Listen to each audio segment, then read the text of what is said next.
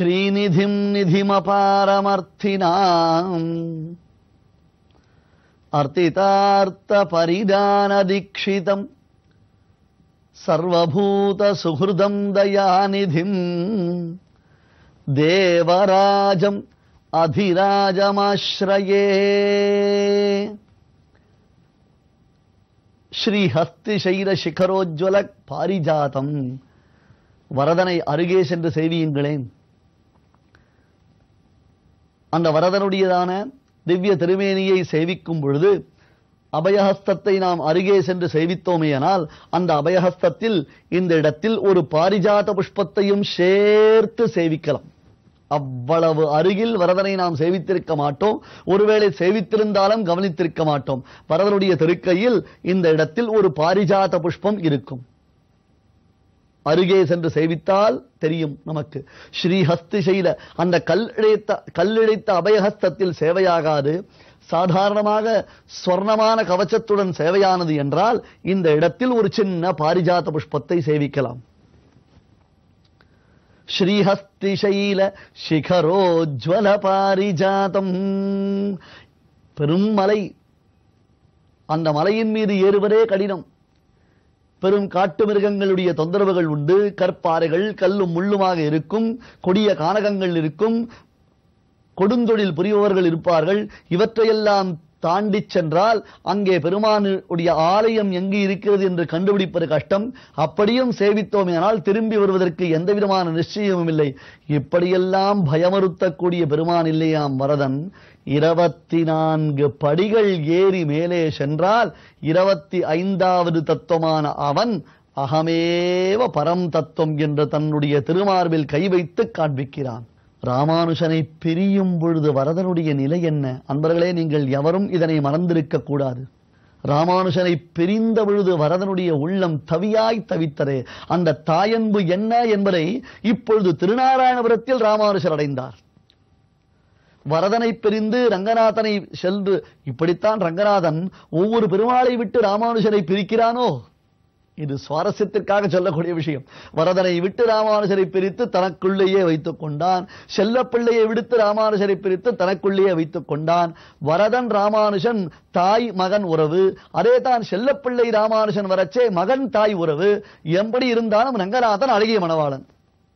அடே அப்பா பொல்லாரவன் தான் போன்றிருக்கிறதே இந்த ரங்கநாதன்.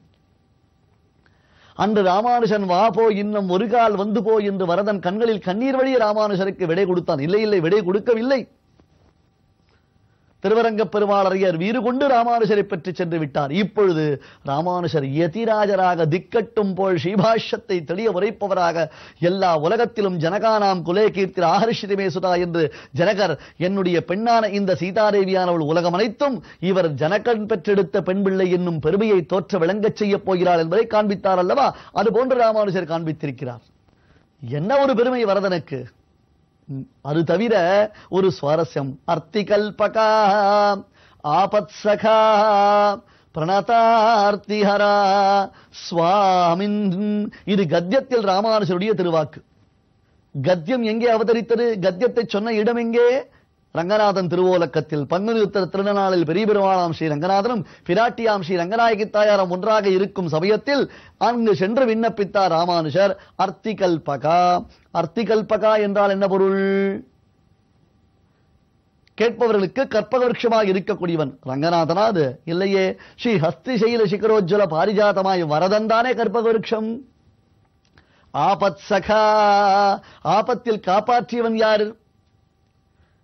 விந்தியமலை காடுகளில் ஆபத்தில் ராமானுஜர் தவித்த பொழுது அந்த சமயத்தில் ராமானுஜரை விதிவாய்க்கின்று காப்பார் யார் என்று காப்பாற்றியவன் யார்? வரதன் தானே ரங்கநாதன் இல்லையே. பிரணதார்த்தி ஹரா அடுத்தது பிரணதார்த்தி ஹரன் என்பது வரதனுக்குத்தான் பெயர். பிரணதார்த்தி ஹரவரதன் என்று வரதனுக்குத்தான் பெயர். இப்படி ரங்கநாதனிடத்தில் சுவாமி சரணாகதி செய்யும் பொழுது கூட தன் உள்ளத்தில் வரதனை என்றோ உணர்ந்து அனுபவித்தார். இது சுவாரஸ்யம்.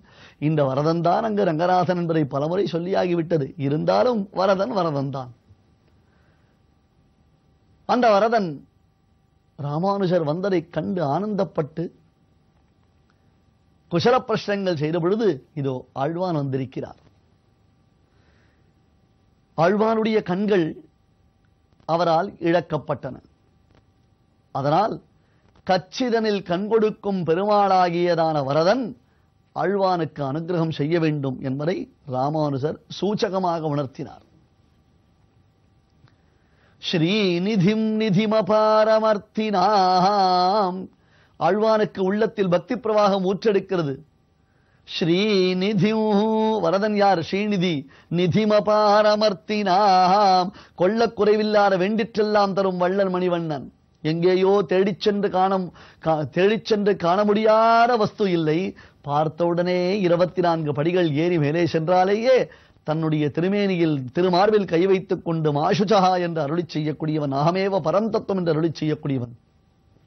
ஆறு வார்த்தைகள் சம்பிரதாயத்திற்காக அருளிய அருளாளன். இந்த ஸ்ரீவைஷ்ணவ சம்பிரதாயம் வேரூன்றுவதற்கு அடித்தளம் வரதன் வார்த்தைகளான விதைகள் தானே அர்த்திதார்த்த பரிதான தீட்சிதம் கேட்பவர்களுக்கு கேட்டதையெல்லாம் அள்ளி அள்ளி கொடுக்கக்கூடியவன் வரத்தை அளிப்பவன் வரதன் இல்லையாம். வரங்களை அளிப்பவன் வரதன். நீ ஒரு வரத்தைத்தான் அவனிடத்தில் கேட்க வேண்டும் ஆனால் அவனோ உனக்கு வரன்களை அளித்து விடுவான். சர்வபூத சுகிருதம் தயாநிதிம். சர்வபூத சுகிருதம் தயாநிதிம். யாருக்கோ ஒரு சிலருக்குத்தான் வேண்டியவன் என்பது கிடையாதாம் வரதன். சர்வபூத சுகிருத் அவன்.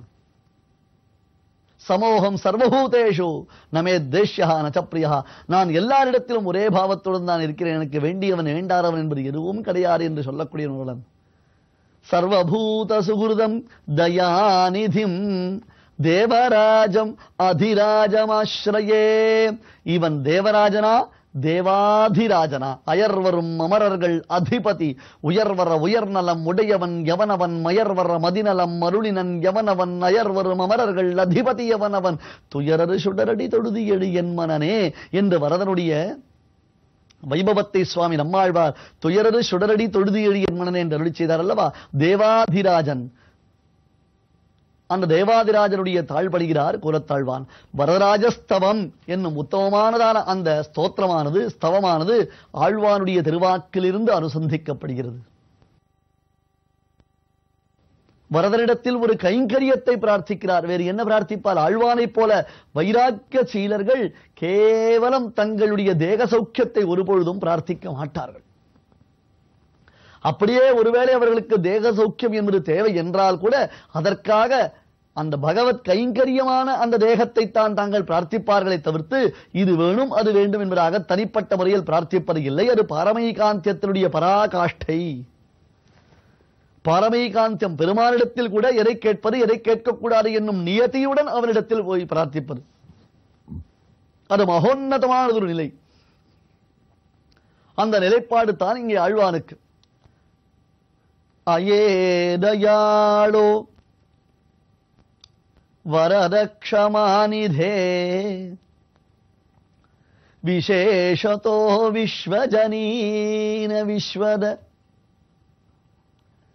हितज्ञ सर्वज्ञ समग्रशक्तिगः प्रसह्य मां प्रापय।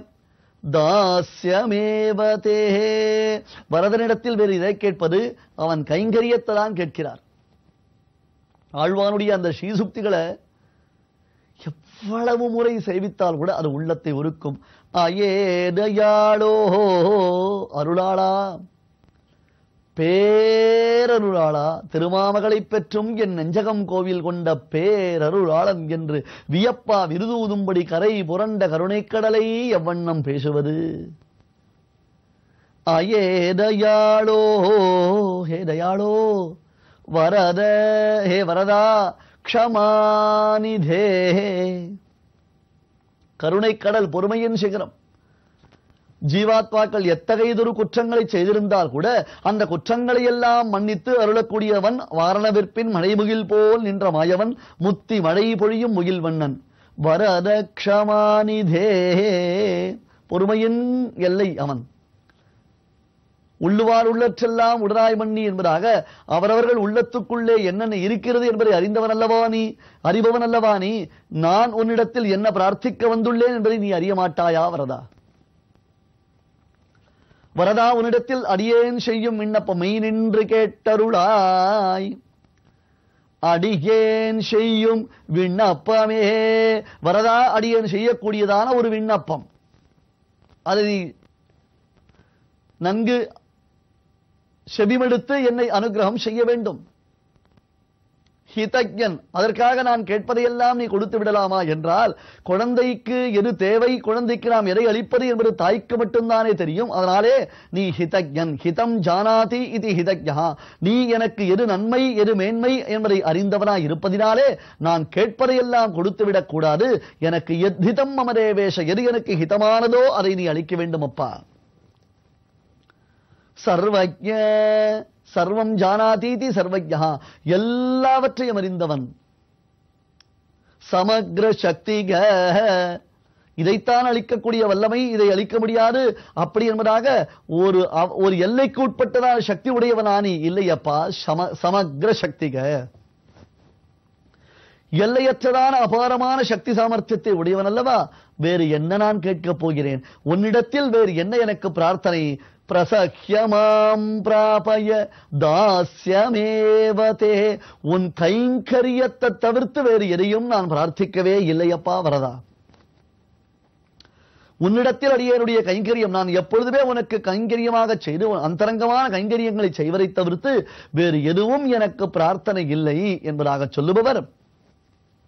தன் ஆச்சாரியரான ராமானுஜருடைய விருப்பத்தின்படியாக வரதனுடைய திருமேனியை வர்ணிக்கும் பொழுது ஒரு பிரார்த்தனை செய்கிறார். அந்த பிரார்த்தனையை வரதன் நிறைவேற்றினானாம். ஆழ்வானுக்கு வரதன் எப்படி அருள் புரிந்தான் என்பதையும் நாம் பார்க்கப் போகிறோம். அடுத்து வரதன் ஐந்தாம் உற்சவத்தில் நாம் பார்த்தோமையனால் ஆழ்வான் சன்னதியில் வரதன் இருப்பதையும் சேவிக்கலாம். ஆழ்வானுக்கு வரதன் செய்த அனுக்கிரகத்தையும் அனுபவிக்கலாம்.